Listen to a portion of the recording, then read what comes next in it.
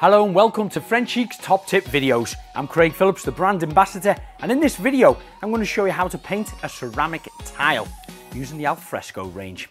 Now, painting a ceramic tile, the principles of the preparation and the application is more or less all the same when it comes to painting woodwork, whether it's your skirting boards, your internal doors, or even your UPVC doors and outside furniture it's all more or less the same. And this is how easy it is to do.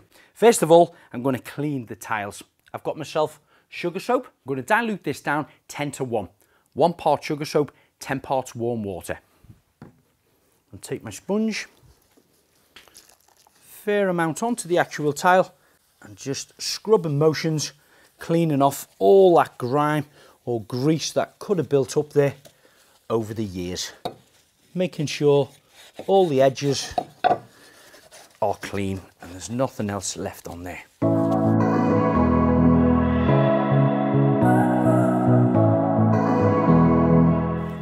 Already I can see the dirt coming off in there.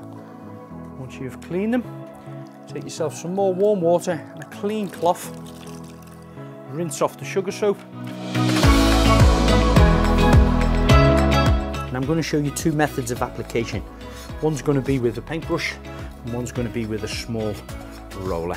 Once you're happy that you've rinsed all of the sugar soap off the tiles, you can then give them a quick dry off ready to start painting.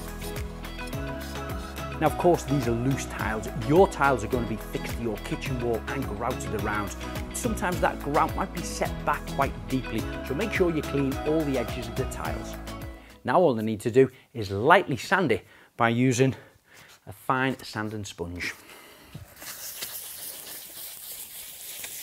I'm only putting about the same amount of pressure as I would do if I was sanding a piece of furniture, just to take the shine off the top and again, just on them edges there.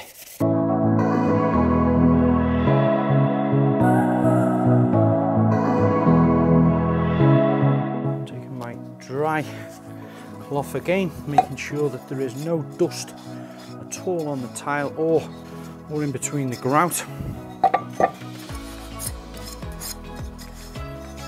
So now my ceramic tiles ready to start painting. So I'm going to use the Alfresco range, which is suitable for indoors and outdoors. And this colour is Dusky Blush. You can see beautiful, thick and creamy. Like all Frenchic paint, just putting a small amount on the brush. I'm going straight to the centre of the tile. And I'm going to start to spread that out all the way across. Course, there is no set direction of painting up or down or left to right when it comes to doing a tile. But what I would recommend is continue it the same on all the tiles throughout the wall. And then once I've applied it all on, just lightly feathering over the top of the layer of paint. Not adding any more on, but not taking any off either. Just making it nice and equally spread. Okay, that's one tile done with the brush. Second tile, I'm going to apply my paint on with a small roller. And this colour is the City Slicker. Again, it is from the Alfresco range. And the beauty about this, like with all Frenchic paints, it doesn't need priming. Straight onto the surface.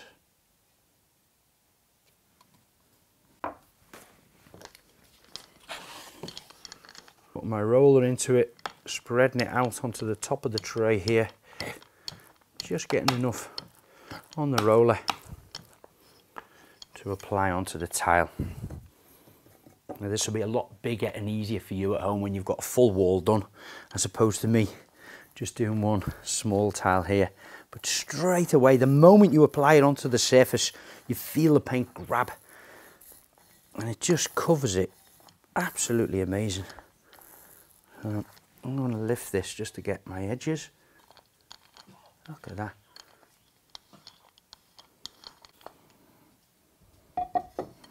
So likewise with the brush, once you've covered the area, just gently go over it and trying to keep it all in the same direction, whether you choose to go up and down or left to right. Try and keep it all relatively in the same direction where you can. Perfect. So that's one coat applied on both tiles, one with the brush, one with the roller. I'm going to leave this to dry for at least two hours and then I'm going to give it a second coat. Now both tiles have had at least two hours to dry, I'm going to apply a second coat. One little thing, don't forget to wash your brush and your roller between the coats because they will dry up and then of course it's waterproof so we don't want you to ruin them. Wash them off, make sure they're dry before you apply your second coat. So we're going to start again with the brush, the Dusky Blush, beautiful vintage pink. Dipping a small bit on that brush right in the centre of the tile and just gently spreading it up and down like the same first layer we put on.